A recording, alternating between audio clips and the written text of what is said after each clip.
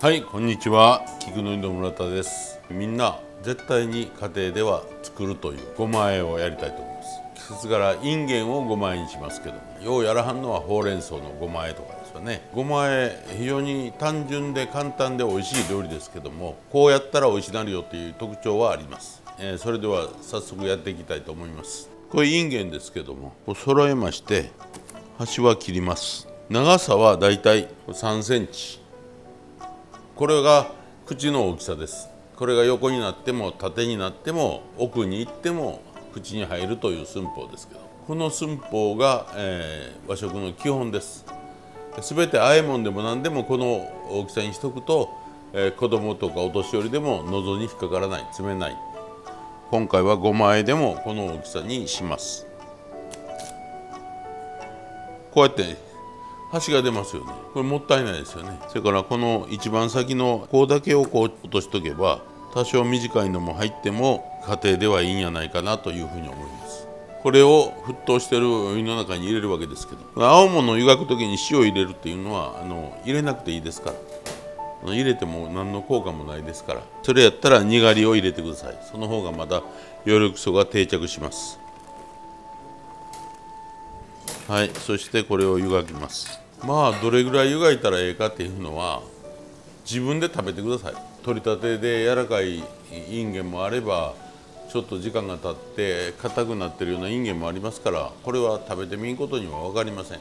インゲンなんかは少々湯がいたところでなかなか柔らかくなりませんけどもカブなんかはある程度の柔らかくなってきたなと思ったら急にぐにゃっといきますからそこら辺の野菜の質っていうのは、えー、そう見極めないと、えー、もうちょっとやなと思って湯がいてるうちに溶けてしまうようなぐちゃぐちゃになってしまうということはあります、えー、インゲンの場合はそういうことは絶対ないんでそういう点では安心してられますけどこれをこうやって触っただけでも大体分かりますけどももういいと思います、えー、色止めをするためにここで冷水に取ります。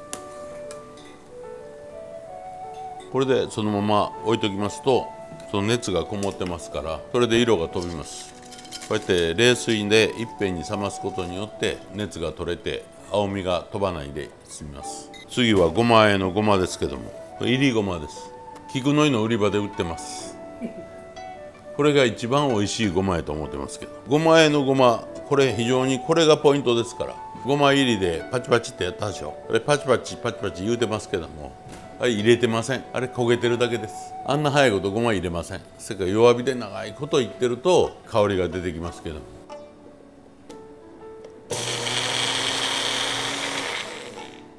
大体半分ぐらいですね、えー、半ずりぐらいですね。でないとあんまり細かくしすぎるとこうペースト状のやつはペースト状で美味しいんですけども。こんな感じですね。でここにごまを入れて砂糖ですね。でこれ醤油。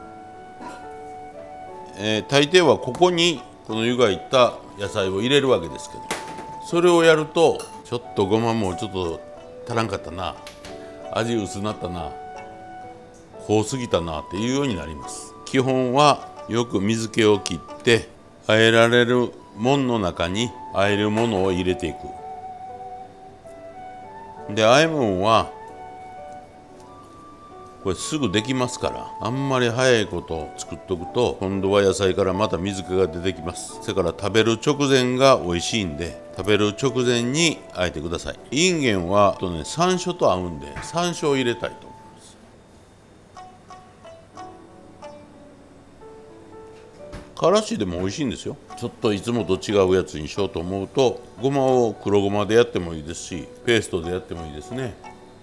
これ非常に単純でどこの家庭でもする料理ですけど美味しくするのが難しい料理でもあります。で料理屋ではなかなか出しませんからこれは家庭の料理ですね。